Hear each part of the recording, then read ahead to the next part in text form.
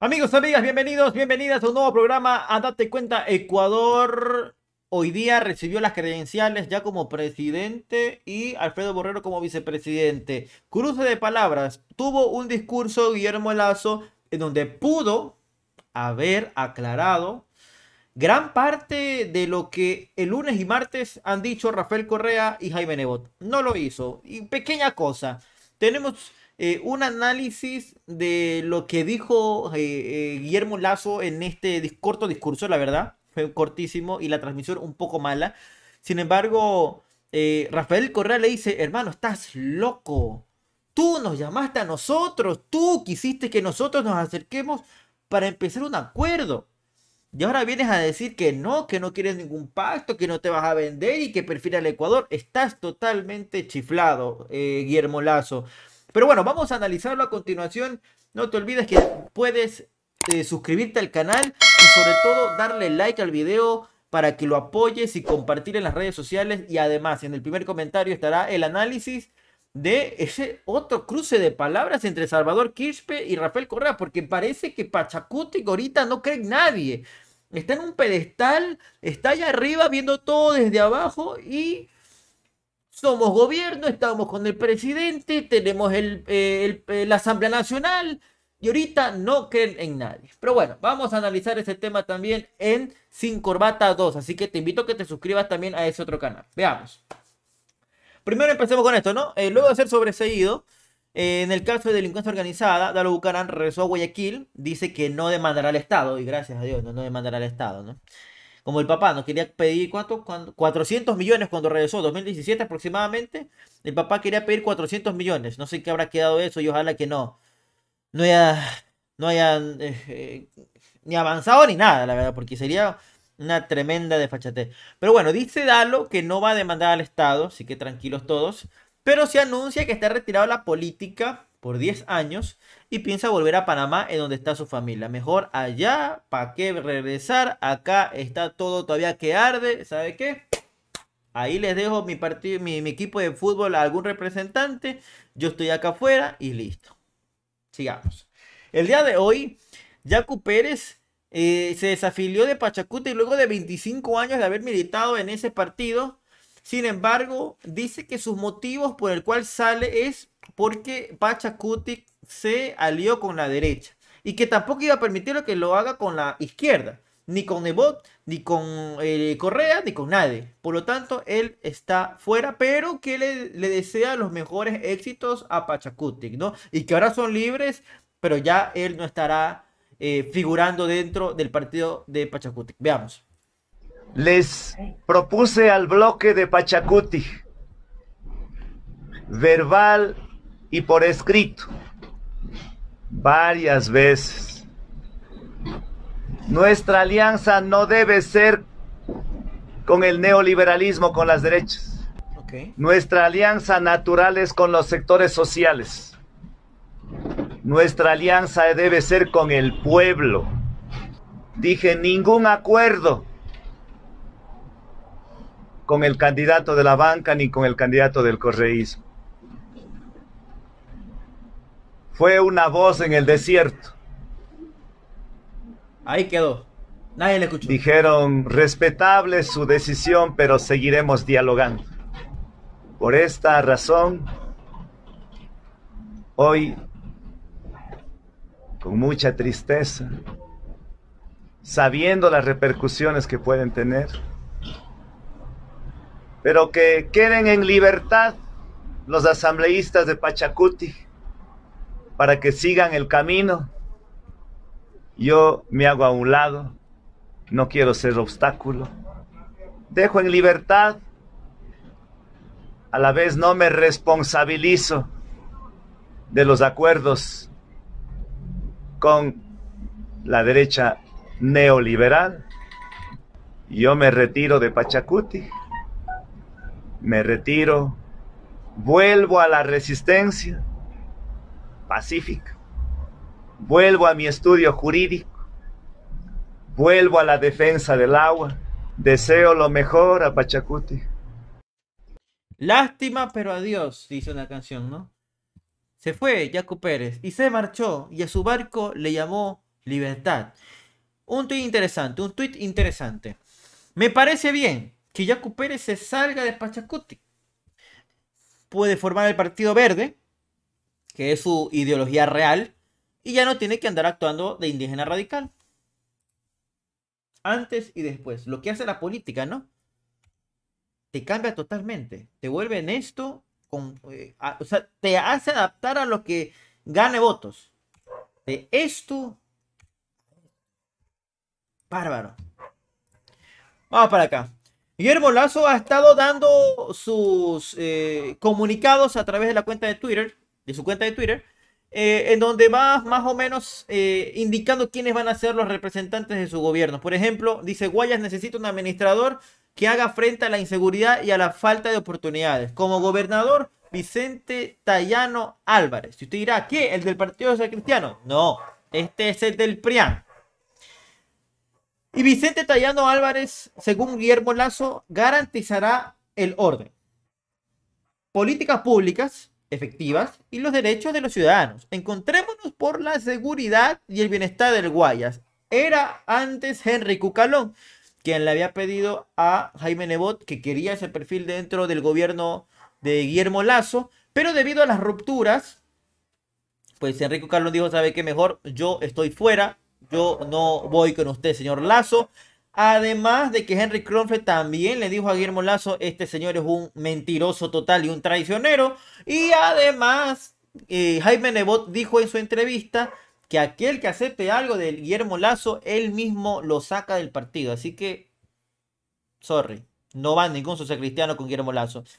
Otro anuncio igual parecido, dice, es un orgullo anunciar que el gobernador de Manaví será eh, Juan Francisco Núñez, un defensor de la libertad con quien he trabajado desde el inicio de este proyecto político del, 2019, del 2009. Confío en que su gestión devolverá la esperanza a los manavitas con una labor inclusiva y transparente. Así queda pues también otro eh, gobernador, otro futuro gobernador ya puesto en la palestra para que inicie desde este 24 de mayo.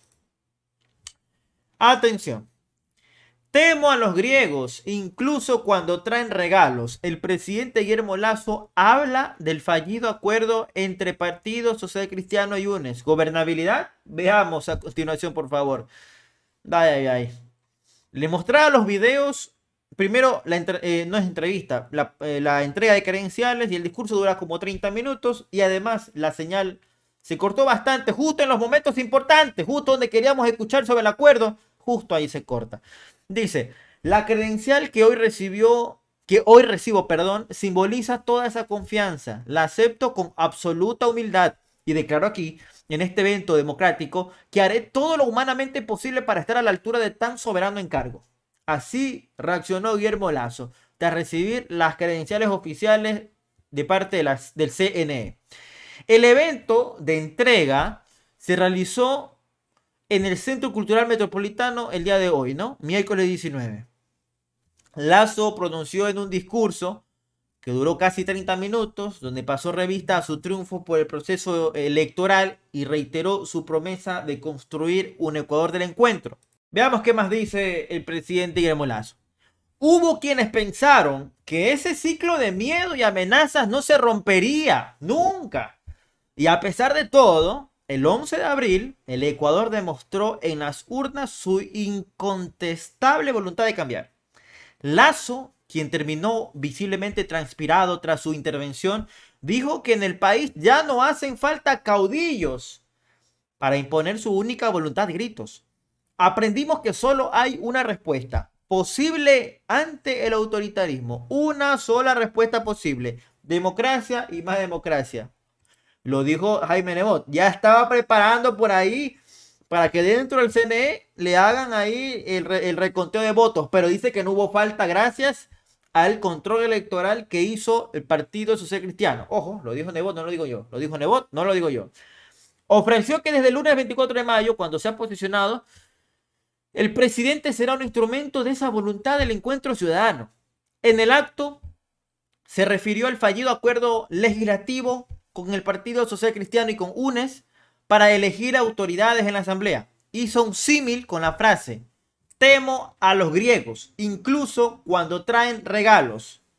Ni siquiera es, tiene, digamos, como lo dijo Nebot, honor para decirlo, señor Nebot, señor Correa, ustedes son esto y ustedes hicieron esto. Temo a los griegos, incluso cuando traen regalos.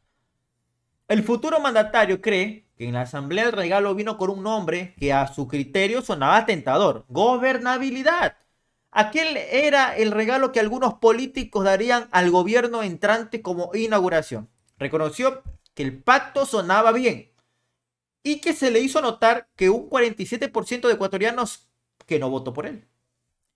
Ceder ante la tentación de esa supuesta gobernabilidad produciría exactamente lo contrario, generaría más desconfianza en los políticos y por extensión en todo el sistema. Lazo dijo que se enfocará en preservar la honorabilidad y confianza que los ciudadanos tienen en sus intenciones, instituciones, y en esa, señores, la base de toda gobernabilidad.